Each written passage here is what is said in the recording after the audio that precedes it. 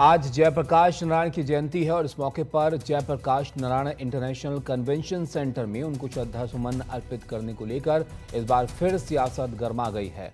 Police प्रशासन ने लखनऊ स्थित जेपीएनआईसी के गेट पर ऊँची टीम की दीवार लगवा दी है, जिसके बाद देर रात सपा अध्यक्ष अचानक यहाँ पर मौके पर पहुँच गए और वहाँ जमकर हंगामा हुआ। अखिलेश यादव ने आरोप लगाया कि यहाँ टीम क्यों लगाई गई है? सरकार क्या छुपाना चाहती है? आज जेपीएनआईसी में जयप्रकाश नारायण के जन्मदिन पर सपा अध्यक्ष अखिलेश यादव का कार्यक्रम होना है। और इससे पहले जिस तरह गेट पर टीम का शेड लगाया गया, उसे लेकर सपा योगी सरकार पर हमलावर हो गई है। अखिलेश ने पूछा कि ये सरकार किसी महापुरुष का सम्मान क्यों नहीं करने दे रही है? बता दें कि पिछले साल भी इसी मुद्दे पर जमकर बवाल हुआ था और हालात इतने बिगड़ गए थे कि अखिलेश यादव गेट फांद कर अंदर चले गए थे।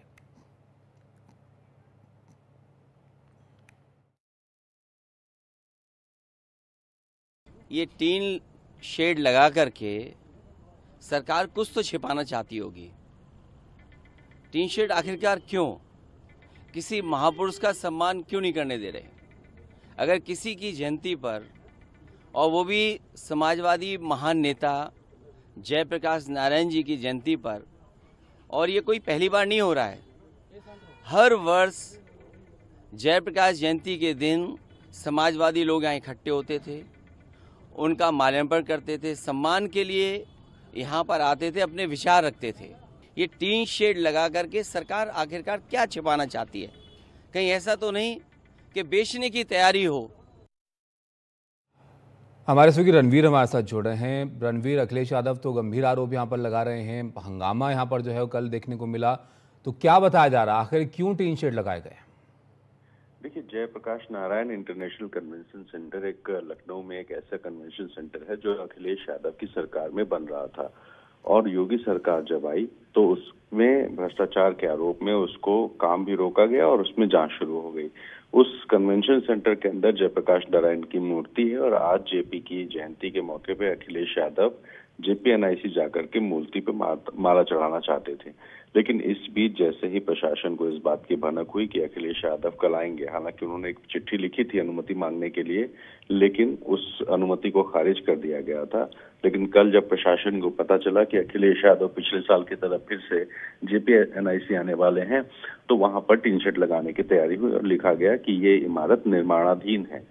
यानी कि निर्माणाधीन इमारत में किसी को जाने की इजाज़त नहीं मिल सकती। और इसके बाद रात लगभग 11 से साढ़े ग्यारह बजे के बीच अखिलेश यादव दलबल के साथ पहुँचते हैं वहाँ पे और जो मजदूर वहाँ काम कर रहे थे, उनके साथ बात की और उसके बाद फिर उन्होंने ये आरोप लगाया कि सरकार कुछ न कुछ छुपाना चाहती है। इस बीच ट्रैफ़िक डाइवर्ट कर दिया गया और कहा गया कि सुबह सात बजे से लेकर दोपहर तक जो जेपीएनआईसी जाने वाली रोड है, उस पर ट्रैफ़िक का डाइवर्जन होगा और देर रात से अखिलेश यादव का घर, जो कि विक्रमादित्य मार्ग पर है, वहाँ दोनों तरफ़ बैरिकेड लगाए जा रहे हैं ताकि अखिलेश यादव निकल ना सके। तो एक सियासी मसला बनता जा रहा है और पिछले साल जैसा भी आपने बताया कि पिछले साल भी ऐसा ही हुआ था जब अनुमति मांगी गई अनुमति नहीं मिली। अखिलेश यादव आज की तारीख को जब वहाँ पहुँचते हैं तो वहाँ पुलिस ने उन्हें जाने से रोका और उसके बाद समाजवादी पार्टी के तमाम सारे कार्यकर्ता जो इकट्ठा थे तो थे क्या आज की अनुमति मिली है इनको? नहीं, बिल्कुल नहीं मिली है और अखिलेश यादव ने जो अनुमति मांगी थी, उसको एलडीए ने खारिज कर दिया था। ये कहते हुए कि ये इमारत अभी निर्माणाधीन है, लेकिन इसके बाद कल शाम को ही इस बात की जानकारी हुई कि अखिलेश यादव जेपीएनआईसी जाएँगे और वहाँ पे माल्यार्पण करेंगे।